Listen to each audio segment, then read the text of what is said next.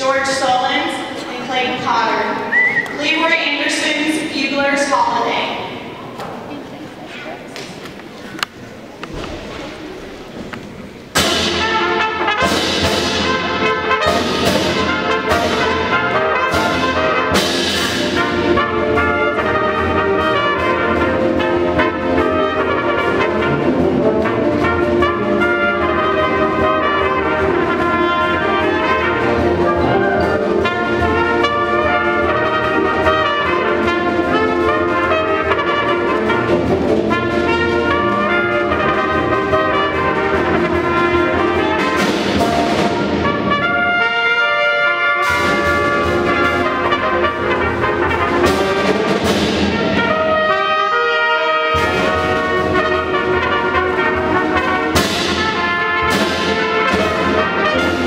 Música